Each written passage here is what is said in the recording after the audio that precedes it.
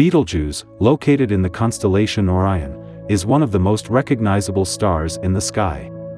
Its vibrant red hue and prominent position have made it a favorite among stargazers and astronomers alike.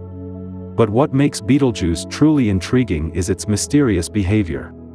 Astronomers call it a variable star because it pulsates, expanding and contracting in size over time. This pulsation causes the star's brightness to fluctuate, sometimes making it one of the brightest stars in the sky and at other times, dimming significantly. Now Betelgeuse is a true giant, with a diameter more than 1,000 times that of our Sun. If you placed it at the center of our solar system, it would engulf the inner planets, including Earth and go all the way up to Jupiter. Its immense size and mass make it a red supergiant star nearing the end of its life. Yes, the behemoth of a star is dying, but that is not the reason we are curious, because stars die all the time. What has had astronomers on edge, is the dimming of Betelgeuse.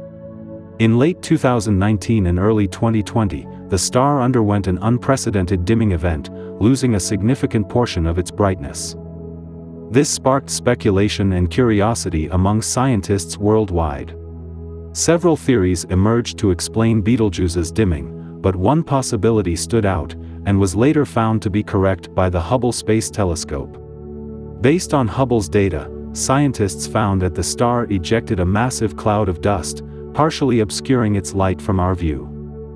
However, the star last dimmed in February 2020, and has since not repeated its cycle.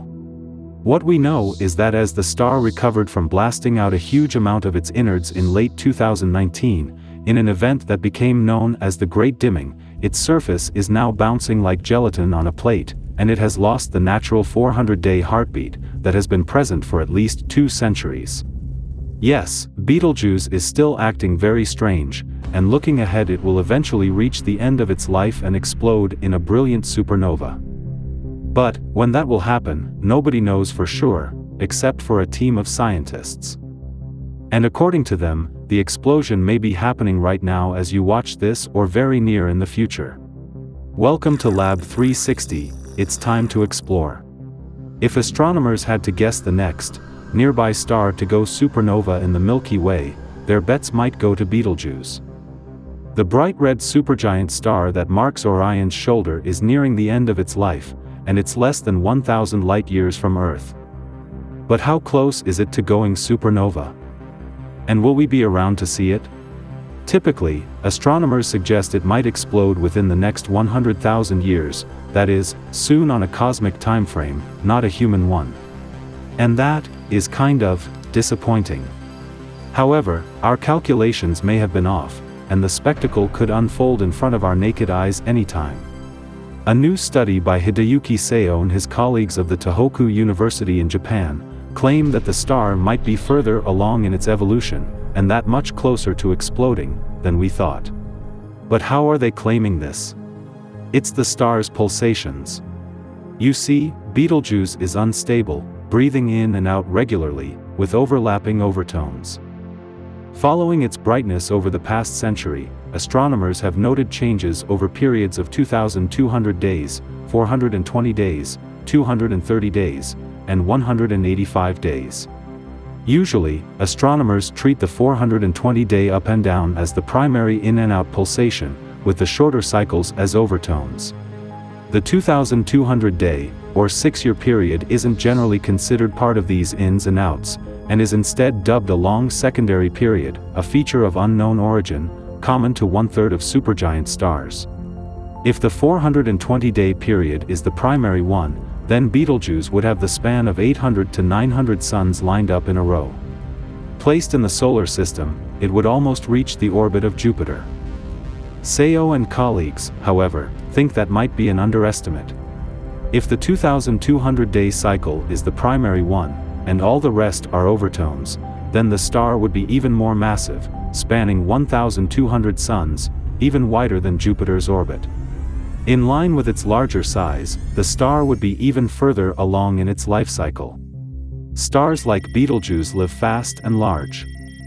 Like the Sun, they first light up by fusing hydrogen into helium within their cores, but they quickly move on to helium, fusing it into carbon. Carbon then burns to make other, heavier elements. Around the core, lighter elements burn in shells, causing the star to billow outward like a hot plasma balloon.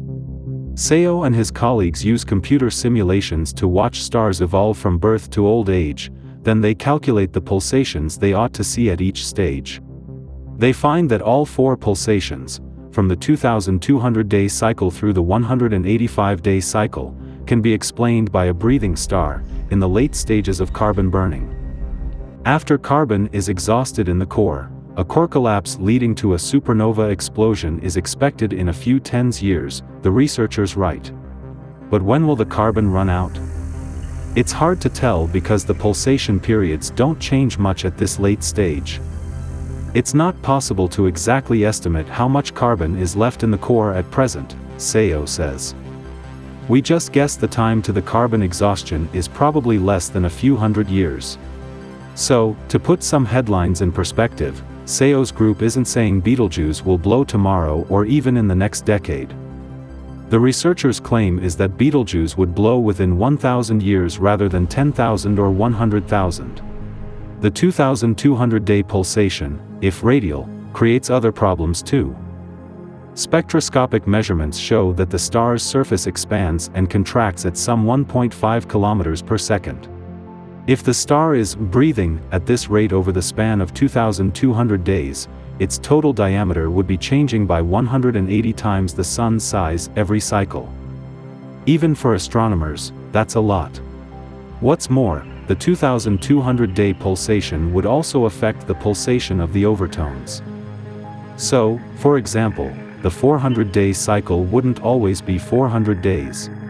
When the star puffs out to its full size, this overtone would lengthen, likewise, when the star shrinks, it would shorten.